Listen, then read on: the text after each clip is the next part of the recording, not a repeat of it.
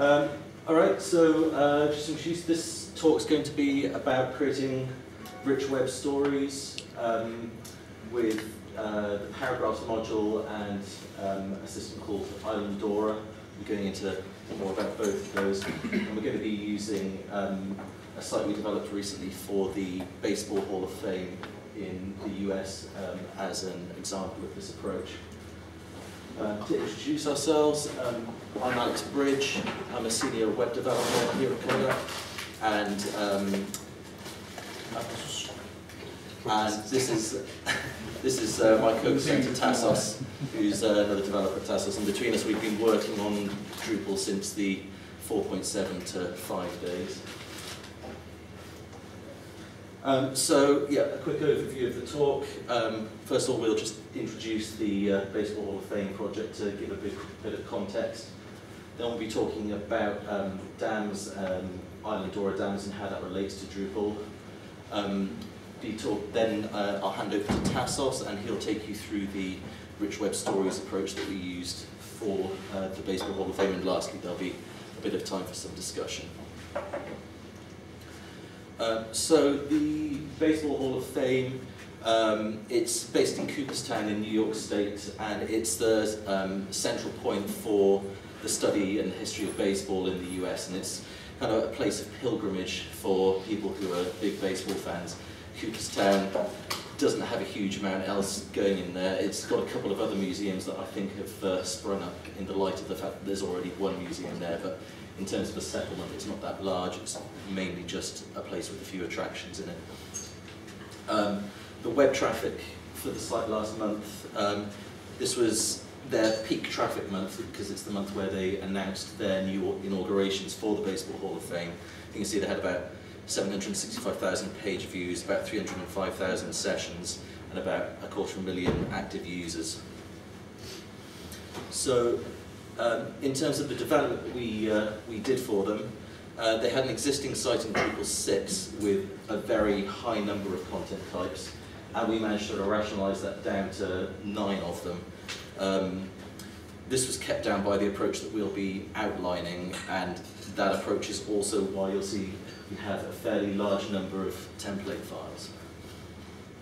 Um, okay, so the aim of our project was to bring their archive online, really present it to the general public, um, and help create connections that bring that data to life, drive user engagement with the Baseball Hall of Fame, and that's really had two main aims.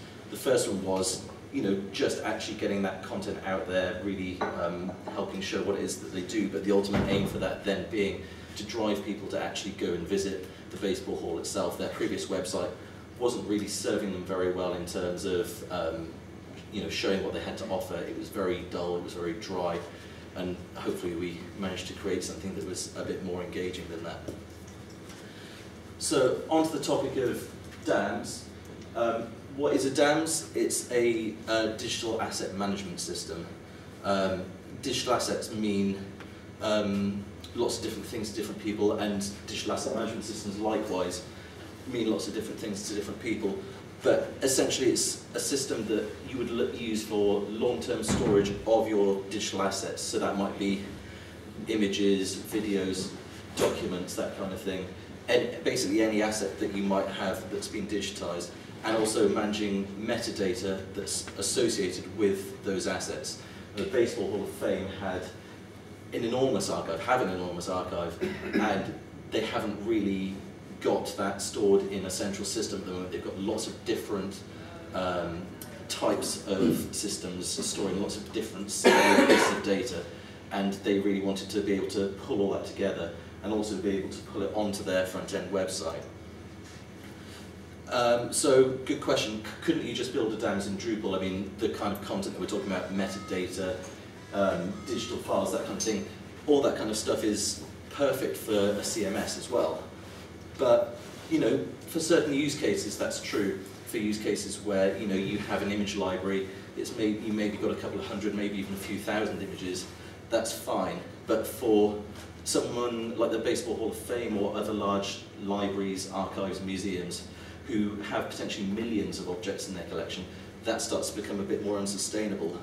And it's important to understand that digital assets aren't the same thing as web content. Um, you might well want to expose a lot of your digital assets onto the web, but managing the two things is quite separate and the kind of data that you're capturing for the two things is quite a separate thing. Um, and there's some very domain, spe domain specific knowledge and requirements that are captured in DAMS systems that you'd have to build in from scratch to a CMS if you were trying to build it from the ground up in Drupal. It's much better to maybe look at a system that allows you to um, leverage all that functionality without having to worry about whether you've captured everything.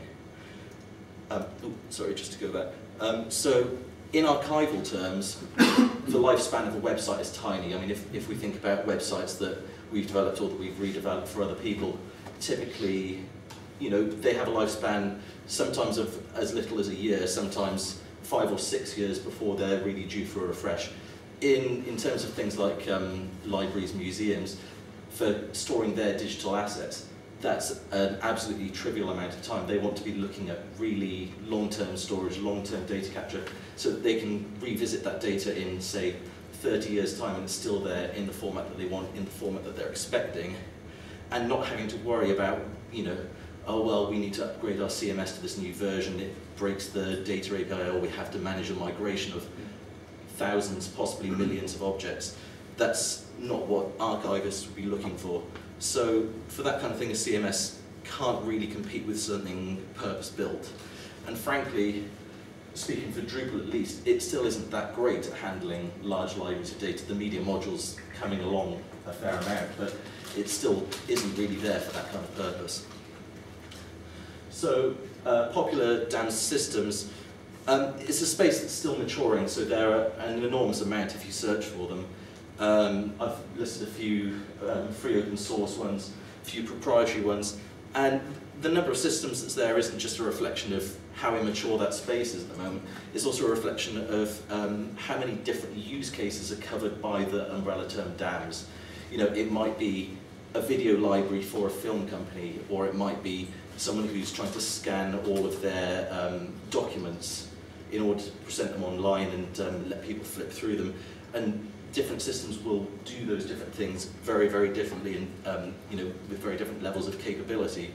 So it's important to make a choice of DAMS that meets the needs of the organization, um, but that also avoids being locked into a particular system, especially for people who are taking a very long-term view. They want to make sure that they've got access to that data for decades to come, and not necessarily um, saying free and open source versus proprietary is a, a stark divide along those lines, but definitely for people taking that long-term view, the free open source systems are that bit more compelling. Um, so Fedora Commons, which was one of the ones that was listed on the previous page, um, it's a digital repository and it can be used as a DAMS and it has um, best of breed um, data representations and is used by a lot of institutions around the world for capturing the kind of data that we've been talking about. Um, very well thought out structures for that long-term storage, and it's based on um, Java Tomcat, so it's a very well understood software stack that it's sitting on top of. Um, features of Fedora, um, so all content is managed as data objects and they're ultimately stored on the um, file system in an XML packet. The Fedora system itself does use a database for easy querying, indexing, and that kind of thing. That database can be built from scratch from the XML files at any point if you experience data loss or corruption, or if, say, they introduce a new version of Fedora that has an entirely different database structure, because the XML structures will be remaining the same, that database can just be recreated. Um, it allows you to model very complex relationships between those data objects where these different data objects have relationships um, and the kind of relationships that um, someone like the Baseball Hall of Fame might have between objects um, can get quite complicated at times. Um, each object contains a number of different data streams. So a data stream might be, for example, an image you might have um, a large high-res scan of the image itself, then you might have different data streams for different views of that image, or for example, in the case of an art gallery, they might even have a scan of the back of a canvas if there are some notable features that are worth capturing. So all of those things can be bundled together into a single data packet. And that data packet will also contain uh, metadata about the object. And these data streams don't even all need to be stored on the file system with Fedora. They could be stored somewhere else on the web, and as long as Fedora knows that about those and it has some kind of reference to those, it's able to pull them and deliver them through itself. Um, it also provides for virtual data streams of particular objects, so you could have derivatives that are generated on the fly. Like I said, if you had a very large high-res image, you could deliver a scaled-down version of that image through Fedora, um, and that would just happen transparently. Um, so, I mean, that sounds pretty good. Why wouldn't you just want to use Fedora for your dams? Well, first of all, it's a very technical system to administrate. It's a very dry system to administrate and quite difficult to get to grips with. And for any particular use case, for modeling any particular kinds of data that you want to be storing in that dams, it's, um, it's uh, quite difficult to get set up right. And it's not really intended to be used in that way.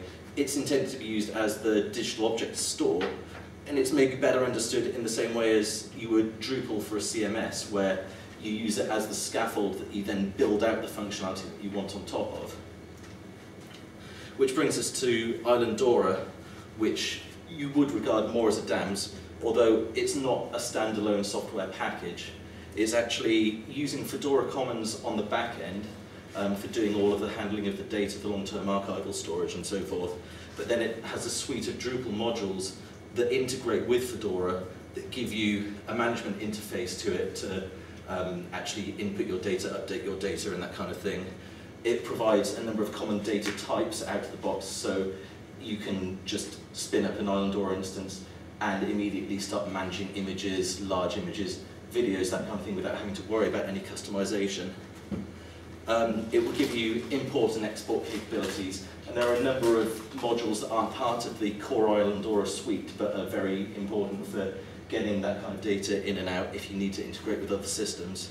Um, and yeah, various other features as provided by um, those modules.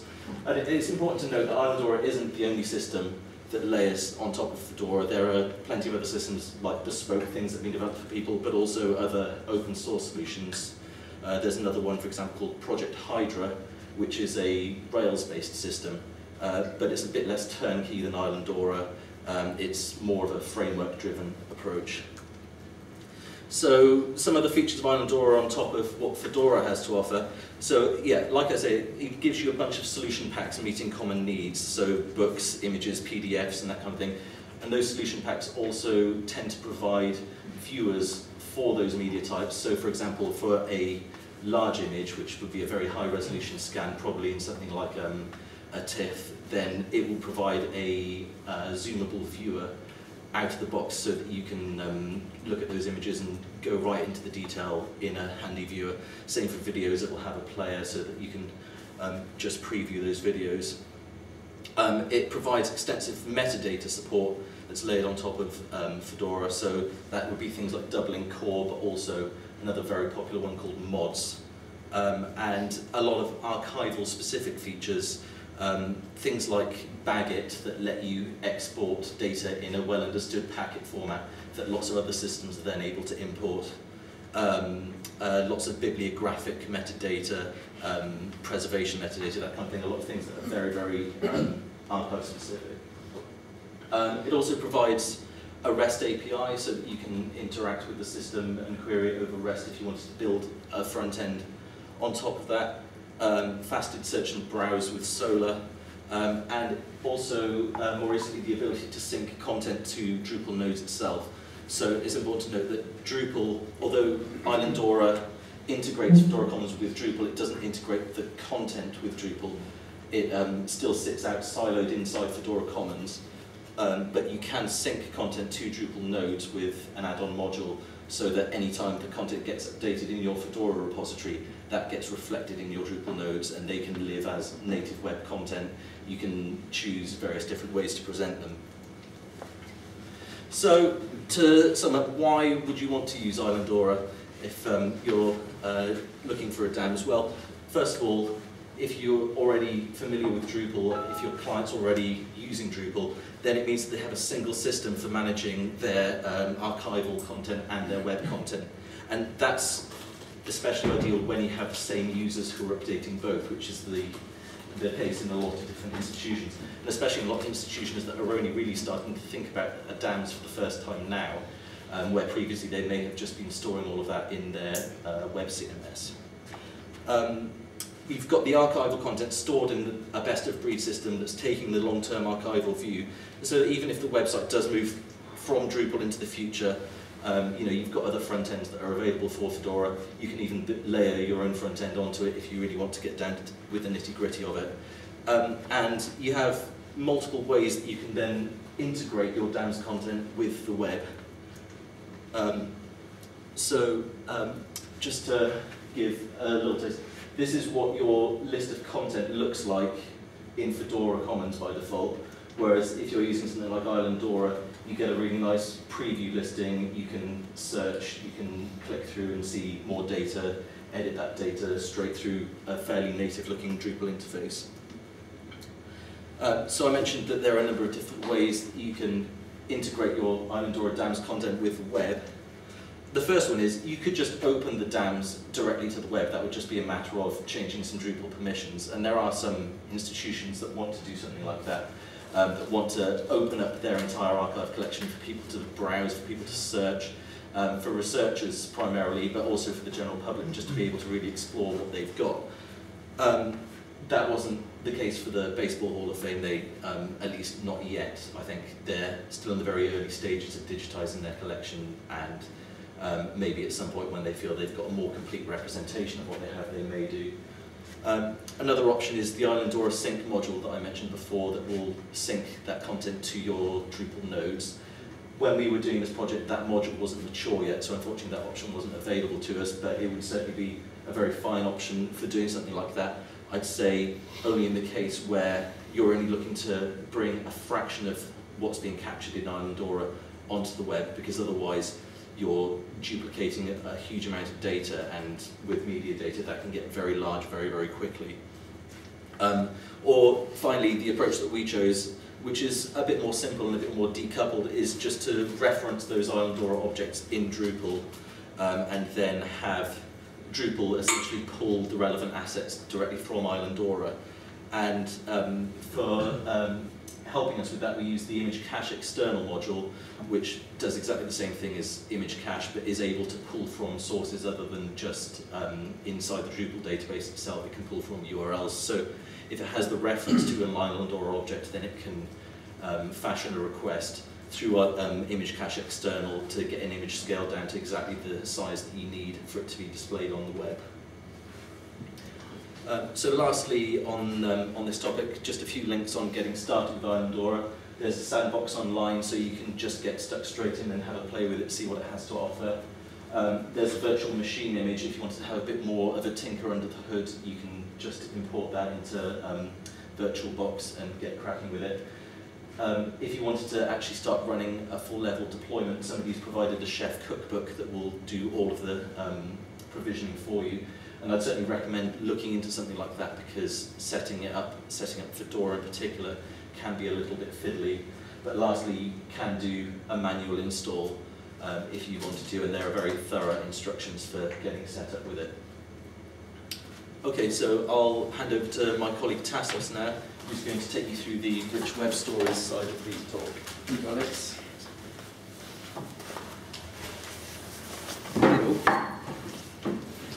So, the rich web stories. We had three, three components that we needed for that project, and one of them was to a way to deliver content. Another was another one was to integrate content from different sources. One was the DAMS, but then again we wanted to have other parts of the CMS to, to, to share content from other parts of the CMS. And lastly, a way to present content a way that was manageable uh, between the backend and the front end. So we chose to deliver content through, with paragraphs. I, I don't know how many of you know this module, Um, it's, it's fairly new. Um, and what it does is basically, instead of having a WYSIWYG editor and a bunch of fields, you can have a more modular approach to build blocks of content. Uh, you can create paragraph types, and then for each paragraph type you can define fields in it. So you can have really different sort of paragraph types. And those paragraph types can be anything from text or single lines of text that we can use for something else, or really complex forms that um, can, can be part of your CMS. Um, so let's see how they are used first, and then we'll discuss what we did with them. So the first step is to add a paragraph field to a, uh, to a content type that you want to, to contain paragraphs. And that's this thing here. I don't know if on the back you can see but it's just it, it is just a field that you can add. Paragraphs are entities, so you can have bundles, and bundles basically are the types, the paragraph types that you're gonna present to the user. That's what we created for the Baseball Hall of Fame. You can see we have a Hoff widget, which I'll be using as an example, but we have lots of different paragraph types that we can give the ability for uh, to our users. You can see we have simple things, just a paragraph of text, and we can have a paragraph which is an image gallery, which is a slideshow essentially. But we can have a small, a single image as well, which is a full-scale image in the middle of the page.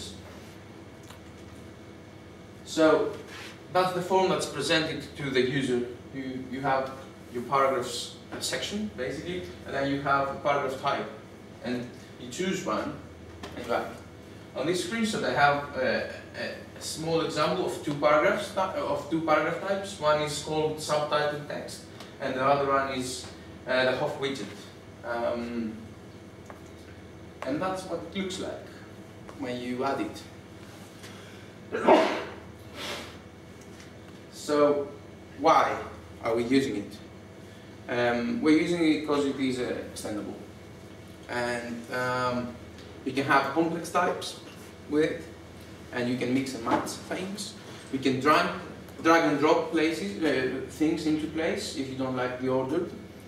And you can use it to create structural part of the page. So you remember, I had a part of time that it was called subtitle.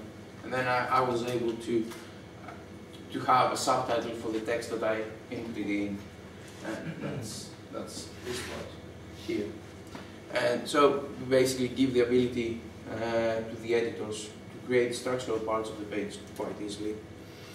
Um, as you saw, we a, a, a, Hall of Famer is another piece of content in uh, in our website, in, in, the CMS, and what we did was uh, we were being able to pull that really easily into that paragraph type.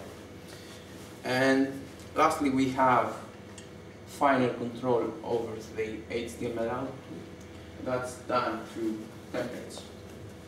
And that was one of the reasons that Alex was saying that we ended up with lots of templates in, our, uh, in, in this approach. But it is really, really nice because you give the front end a tool to work uh, with things that they already know, which is markup and rest. So um, that's not markup really, it's a conceptual uh, thing. Uh, so within a node we have, we're laying out different paragraph items. So because paragraph item is a bundle, it is essentially it has um, a template. So we can use that template to lay out exactly how this paragraph type we want it to be laid out. So often when we talk about this stuff, we get this question, uh, well, couldn't you do it with field collections?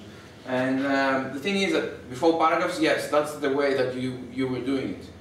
Uh, field collection have um, one disadvantage, basically, it is a collection of fields you can't mix and match different things, or you can't mix and match different things uh, however you wish.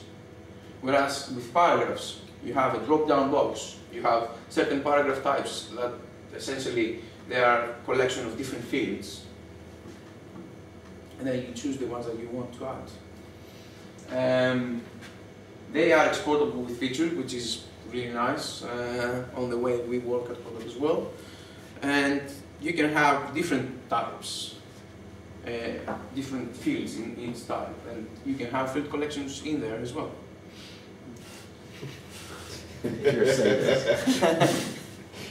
so um, that was the way of delivering the content.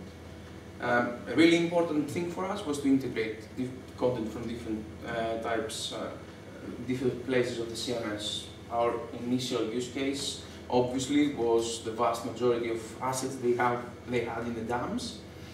Uh, but then again, they had all sorts of stuff, like the Hall of Famers, which is a directory of all the people that they are uh, in the Hall of Fame. Uh, they had promotions they wanted to do. They had other images that they just added to the CMS, which are not part of the dams, and so on.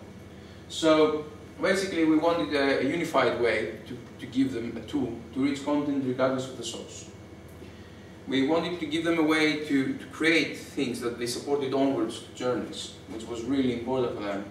People not being at dead ends, but being able to explore more and more and more, because they, they really do have a vast, vast amount of data.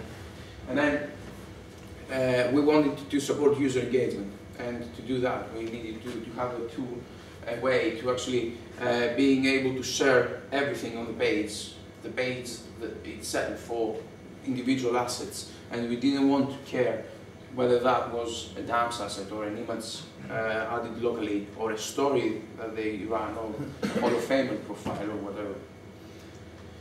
So to do that, we needed to have a way to, to pre-process per node type. And that's actually really easy to do. On your pre-processed node, you just have a function that So you have a function that actually calls another function. And uh, that way, you can get the individual node types to be called.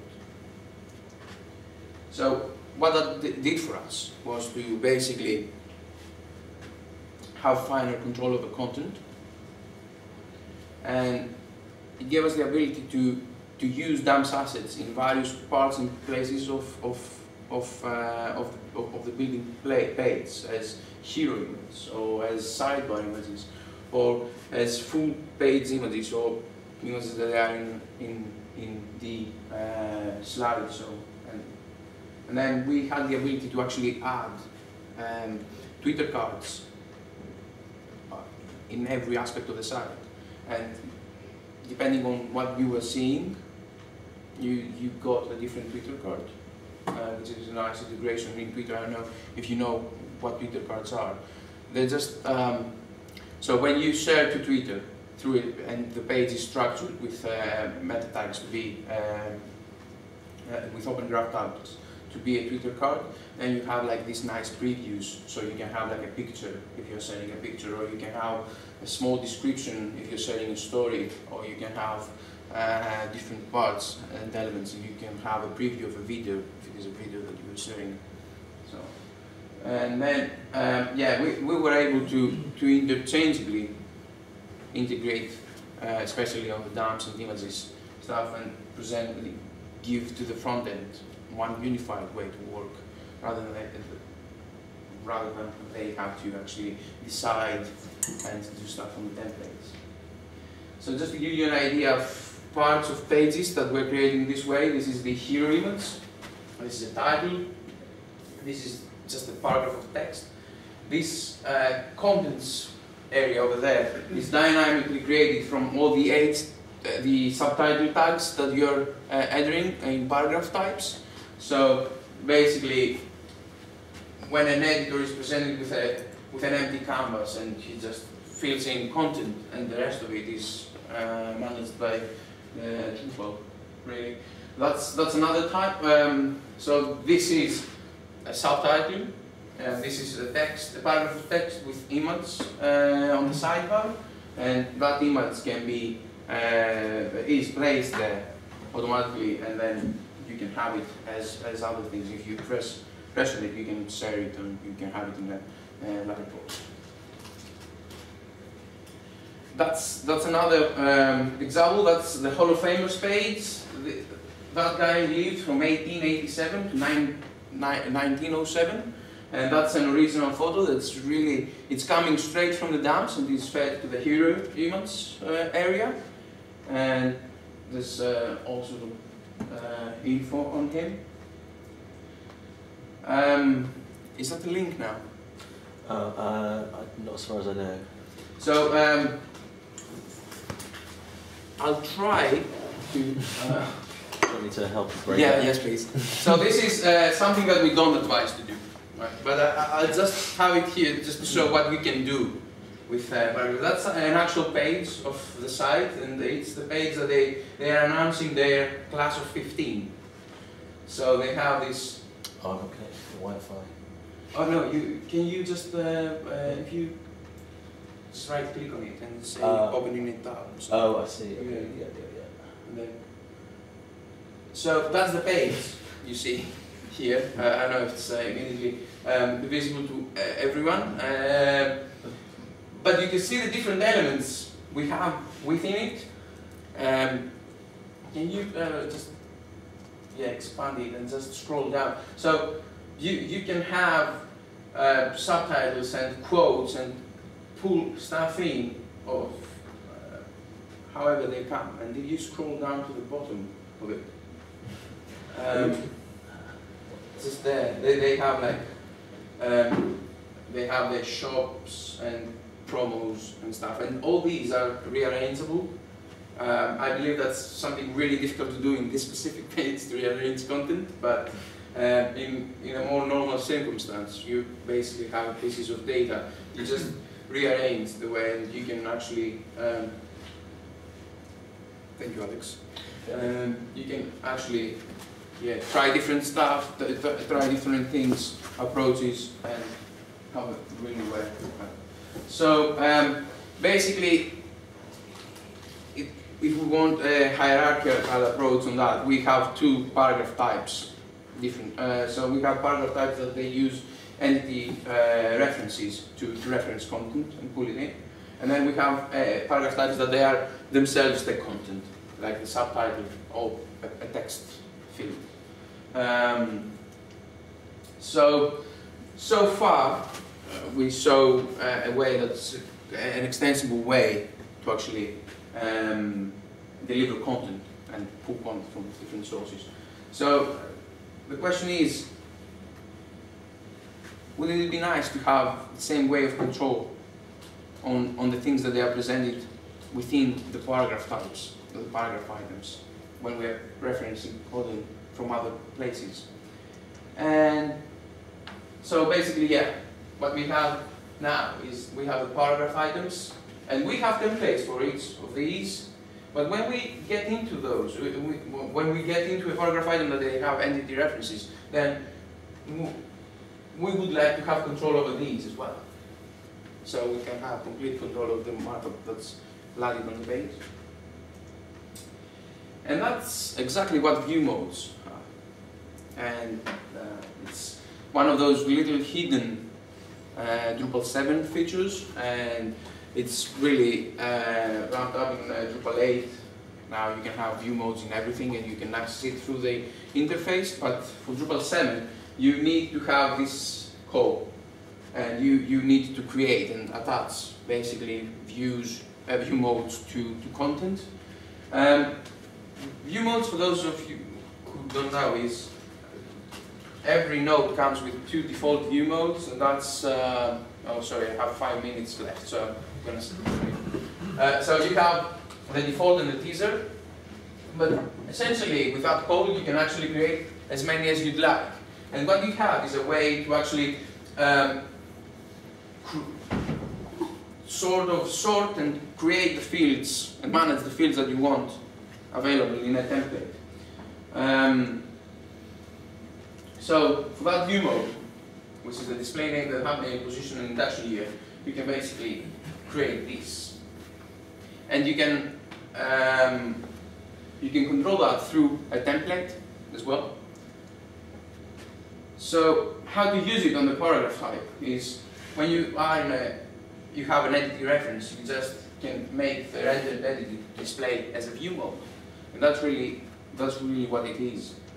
And you, you select the view mode and then you have it available as, as, a, as, a, as a template. So you append it on the paragraph uh, as the view mode name and you have a TPL for that.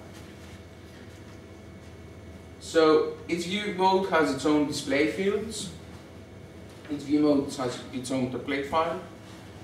You can apply logic per view mode when you're accessing, uh, when you're uh, preprocessing the node, and then you can basically give the front end a way to work that's how we want. Um, so just wrap it all up. Paragraphs give us a way to deliver content. Entity references give us a way to, to pull sparse content into the same thing. And entity view modes, we provide us a way to, to have finer control over that content that we're bringing in. Um, any questions, please? Can, within one of these paragraph entities, uh, can you pull in a view? Mm, Because that looks to me, I mean, those related Hall of Famers, for example, that looks to me like a view with, um, what you call it, a variable um, in the URL that says, if I'm on node 53, pull in these related items for it.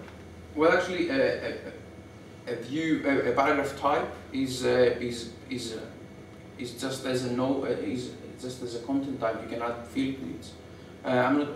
Does anybody know if there's a field that you can actually pull Well, any views? If, if there's Well, a, you could- if, there's a field, in- Yeah, if there's a field type, yeah, then you can do it.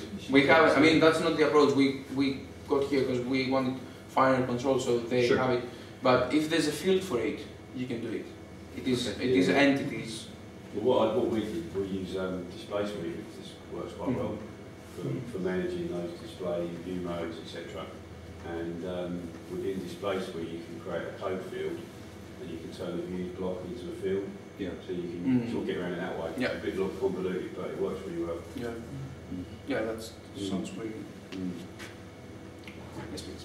What's the user interface for integrating with Islandora for the editors? Can they, can they browse Islandora or do they have to copy and paste URL? They, um, well, the editors, know, if they know the ID of the Islandora object they want, they just uh, add uh, an, a DAMS asset node with that ID in it, and then the rest is handled by our preprocessors, and uh, it's, it, it is as if it is visible to Drupal. So, So, yeah, just an ID. at the, at the moment it's just being done with paste, but one of the enhancements that's going to be added in at some point is for that um, field to be an autocomplete field that can query um, Islandora's API and just pull through a list as you start to type for the title of the object that you want. Yes, please. In the case of the Baseball Hall, Hall of Fame site, did you use the default body, uh, the default body field at all, or was it just all done by the Uh, paragraph module? in in in the story template, in Yeah. the story content type, which is basically the one that's using the paragraphs. No, we're not using it. Okay. We just um, we have diff- uh, we have other fields that such as uh, summary fields and things to Okay. actually create the open graph uh, meta tags, but Right. other than that, no. Okay. Yes, please. Am I right in thinking that from the point of view of a content editor, um, all the content types they have available to them, if they open one, each one will have a fixed number of paragraphs. They wouldn't be able to change the number of paragraphs. Uh, yes, you are correct. That's something that they um, would have to be built by us so they can have Yeah. But the way we, um, the way that this works right up until now is really what was they, they by building them a story content type that it is so um, so extendable. Uh, they they don't have the need for different content types. What they had before was another a, a content type for a press release, a content type for a story, a content type for a news item, and so we scrap all that and we gave them a way to create whatever they wanted It's just one single content type. That's a story content type for us. And that can be a press release, which is just a simple paragraph of text and maybe an image on the side. It is that's more interesting. I show you like a, a huge page with so much content in it, and um, they can do whatever they want with that. So we don't have the uh, basically if they need another building block, that's something that they would actually have to ask us to, to give them. But um, yeah, they could add any number of paragraphs of the pre-specified types to a page, so it could be just a single one, or it could be like the page that Tassos demonstrated, it was extremely long. They probably had 10s, 20s, 30s, um, different paragraphs added to that page. Right. Okay, now I'm confused. So So- I, th- I think There's Tassos may have, but in it's terms of you was asking about the paragraph types rather than the, the actual I physical blocks. say of I'm a content. content editor, I make myself a new page co- from a content type, so a Yeah. new node. One day I might want to put three paragraphs in, the next day I might want another one. The same content type I might want to put seven paragraphs in. Can I do that? Yes, Yes, you absolutely right. can do that. I mean, you can add a restriction. It's effectively like a repeating field in uh, any so I other was thinking you repeating compare it to field collection where you can vary the number. So Yeah, so you, you could you could limit it to five, or you could say unlimited, and they could add, as as we saw in that fairly extreme Yeah. example, goodness knows how many. right. Thanks. Cool. Have you done any layouts that are not just kind of stacked down like that, where they're a little bit more complex? Uh, we've done layouts within the paragraph types, Yeah, uh, so we have images on the side and text. I mean, yeah. uh, but on the paragraph themselves, no. But it, I, I believe it's going to be fairly easy since we, we Yeah. really have like the, the we have really nice separation of content and uh, So you could have, you know, two paragraph types that are like fifty percent width, yeah. and then yeah. put those next And to each I other mean- so they stack nicely. And you you you already we already have like a template for that, so we Right. actually have that. Is there any, uh, I'm trying to think, overall structure in the final page code? I'm thinking of if you wanted to export it as XML or something like that, you have, say, the page titles and text, and then you've got a subhead and some paragraphs under that, another subhead and some paragraphs. Does the system have any idea that, in fact, these paragraphs are related to that subhead and are all part of a subsidiary part of the structure? Or is this really just, this is how it's laid out and that's It is laid out the as structure for it? paragraph type after paragraph type. So um, But you could, I think, you are able to nest paragraphs, aren't you, you? you are able to nest so if you wanted to have something that was a more defined structure like that as well, then you could do it by Yeah, by that's, that's great for a page that you're looking at, but it's going to be really hopeless if you're trying to actually send the data to something else. I can Yeah. send, yeah. Sure. Okay. It's just a matter of um, uh, striking the balance between Oh, yeah, what's yeah, the yeah. most semantic thing and what's the best content editing experience. Yeah, no, for that I'm sure it's right, but in other situations you might want to have it So restricted. I, I think think we have to wrap it up I it's because exposed by we views as well, though, isn't it? Paragraphs would be exposed views technically, Um, go through it that way. They certainly could be. I'm, I'm not sure um, whether they are at the moment. But, um, Yeah. yeah. um, so can we discuss that Yeah. afterwards? So we're really taking the time from our Thank you very much. So. So- um, um, There's a, another thing, yeah, we could say we are hiring. So um, if you are, or if you know, uh, a senior front-end developer or a graduate developer, you can uh, visit that link or pass that link to um, some interesting parties. Thank you very much. Thanks.